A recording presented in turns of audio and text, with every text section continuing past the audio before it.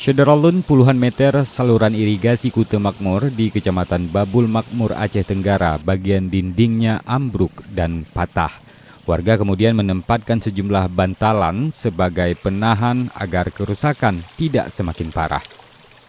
Diduga kondisi ini Sederalun terjadi karena kualitas pekerjaan yang asal-asalan atau tidak standar. Pihak Dinas Pengairan Aceh pun diminta segera memperbaiki proyek irigasi yang bersumber dari dana otonomi khusus Aceh ini. Dari Kutacani, Asnawi Lui, Serambi On TV.